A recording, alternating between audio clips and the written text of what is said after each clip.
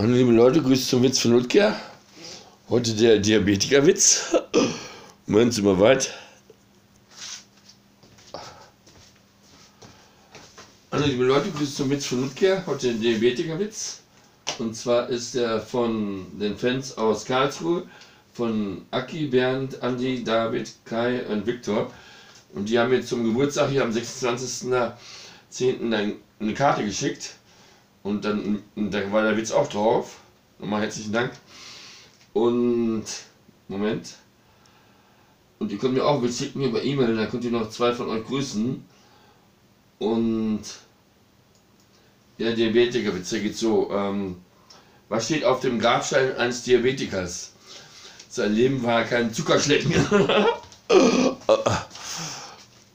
was steht auf dem Grabstein eines Diabetikers? Sein Leben war kein Zuckerschlecken. Und Erklärung, äh, Diabetiker dürfen ja keinen Zucker ähm, essen, äh, immer nur äh, in kleinen Mengen und dann müssen spritzen und so weiter und ähm, deswegen dürfen wir keinen Zucker essen, weil es kann tödlich für die sein. Äh, nur wenn sie unterzuckert sind, äh, dann müssen ein bisschen Traubenzucker, damit sie nicht umfallen, aber sonst dürfen sie keinen Zucker nehmen. Und äh, deswegen war sein Leben kein Zuckerschlecken, stand auf dem Grabstein an. Okay, ciao Kakao, mit Unien.